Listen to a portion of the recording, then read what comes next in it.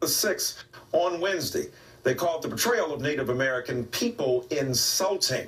You got one female character who is also one of the main characters, but goes by the name of um, Beaver's Breath. And another character by Wears No Bra. We need to stand up and take issue when they degrade our women, our children, our elders, our people. There's a lot of traditions that we hold sacred. There's a lot of traditions we don't want put out there in Hollywood.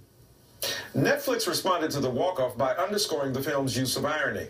A spokesperson said it's a broad satire of Western movies and the stereotypes they popularize, featuring a diverse cast that is not only part of, but in on the joke. Joining me now is Gyasi Ross, author of Isskootsik? Before Here Was Here. My friend, welcome to the show.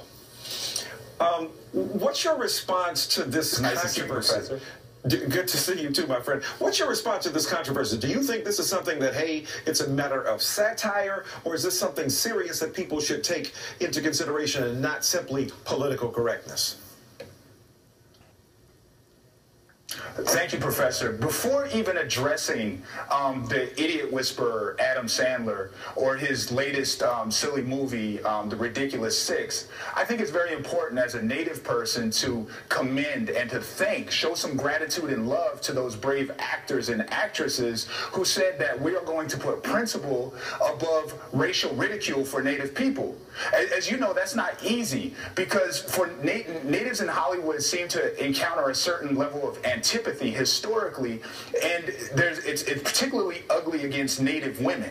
So for these actors to put their career in their hand and say, we're willing to put principle over profit and not take this role that may or may not, you know, uh, fulfill our dream of being an actor, that's sure. a huge step. And on behalf of my son, my eight-year-old son, my 18-year-old nephew who I raise, Native children and Native people across the country, I thank those actors very much.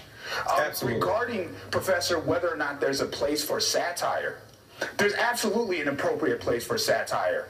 But as you pointed out, Blazing Saddles is an absolutely amazing example. There has to be some substance underneath that. And for example, and I don't want to run on too long, but Blazing Saddles talked about a black sheriff, if I, if I recall quickly, who mm-hmm. came into town and all the white people left. It kind of predicted and informed us about white flight. With this particular Adam Sandler movie, there's no substance underneath it. All it is is racial insult.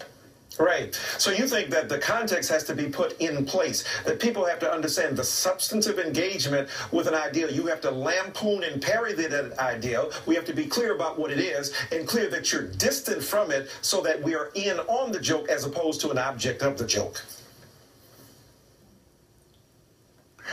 Absolutely, Professor. It's so important, not only that we, we question and critique the subject matter, because we have to be very careful about that, but we also have to question the people who are making the subject matter, the people who are the directors, and the people who are financing these particular deals. If it's a well-moneyed and privileged white man that's lampooning and making fun of a woman, particularly a woman of color, I think that's something that in legal terms would merit strict scrutiny.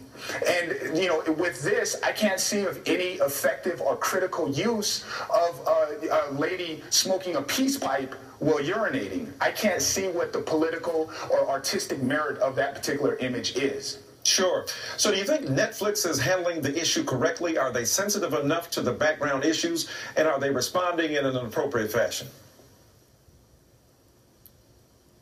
Uh, no, not at all. I mean, Netflix, they're interested with content. They want to make more content, more content, more content. It's a money game. And I understand that very well. And the only way that we can speak as Native people and for people, uh, you know, whether it be African Americans or, or Native Americans who have had this very, very um, antithetical relationship with the film industry that only allows us to be the subject of material and not the, I mean, excuse me, the object of the material and not the subject where we can't create our own content the only way we can speak likewise is with our pocketbooks because Netflix does not seem to be responding to our indignation or the statement of so many native people across the country that, yes, indeed, this is offensive. Every single one of us finds this offensive. You don't have to ask any further.